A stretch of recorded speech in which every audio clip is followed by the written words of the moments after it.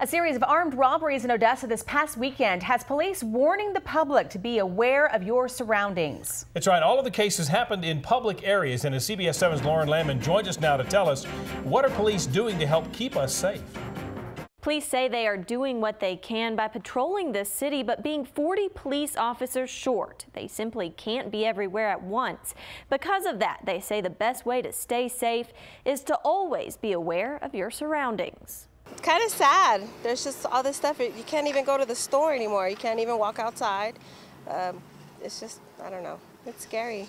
On six separate occasions in just one weekend, residents were held at gunpoint and robbed in public places. She doesn't feel comfortable in our surroundings right now. Police say the crime isn't necessarily happening in residential areas, but rather apartment complex parking lots and busy shopping centers.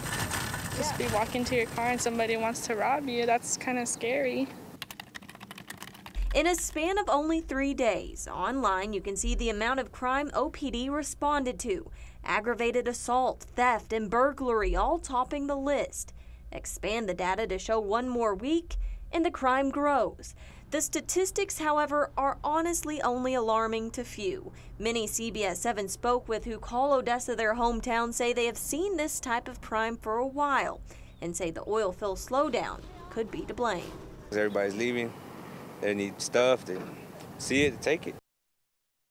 Police say in many of these cases, criminals are posing as solicitors, so residents should always be aware of what is happening around them. If walking alone, make sure you aren't talking or looking at your cell phone, and always carry some type of protection like pepper spray.